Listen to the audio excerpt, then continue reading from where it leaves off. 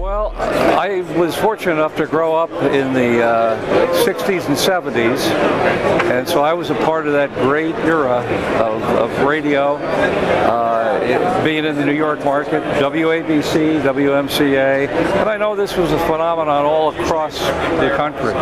You know, the great jocks, the great jingles, uh, even some of the advertisements were fun, for, you know, the ones for pimple cream and, and, and items like that.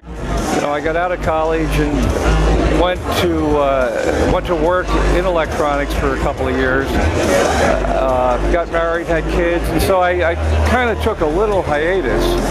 But then in the early 80s, I had an opportunity to uh, go to work for a radio station, uh, family stations, WFME, and we're actually located in West Orange, New Jersey, even though we uh, cover the, the New York market as Alan Sniffen has said quite often on, you know, when he talks about this on a New York radio message board, you end up with a show where the where the, the, the sum is greater than the total of all the parts.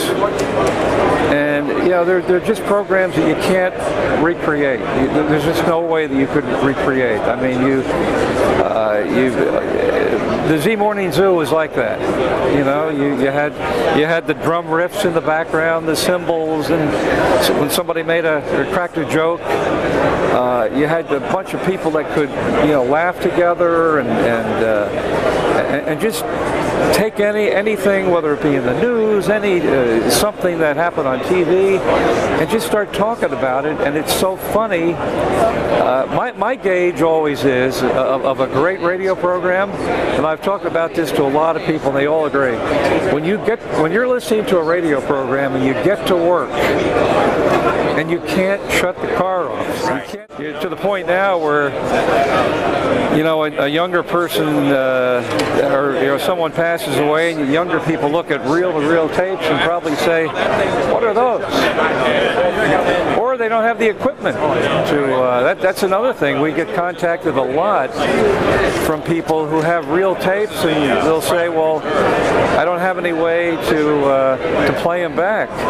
Then you have old reel-to-reel tapes that uh, are in such bad condition.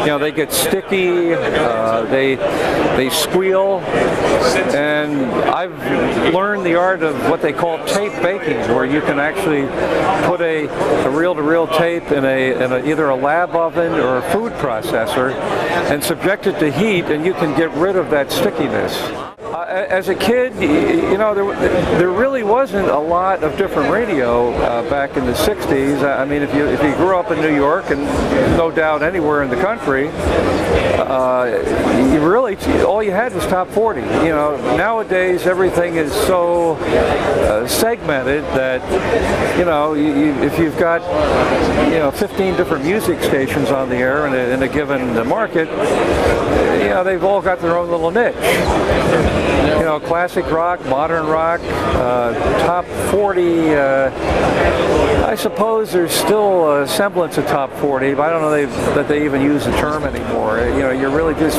listening to, uh, you know, different formats of music, and even they've become, uh, you know, fragmented.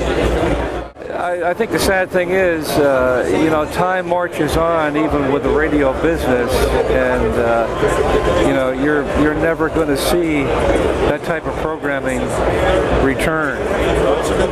Again, everything's got to be edgy, and you know, the, everybody's aiming for very specific demos now.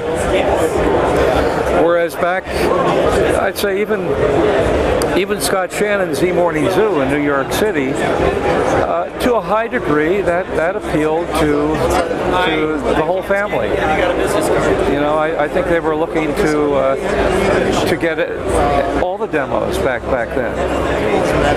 But that's gone today. I, I would bring back the Z100 jingles, you know. Uh, you know, this is Z100, crank it up and rip the knob off. You know, the naturally they had the professional deep voice uh, voiceover guys doing these little imaging liners, but uh, I don't know. I just found that kind of radio. You'd almost wait to the top of the hour just to just to hear these jingles, you know. And uh, yeah, I, I would bring a lot of that back. I would bring a lot of that back.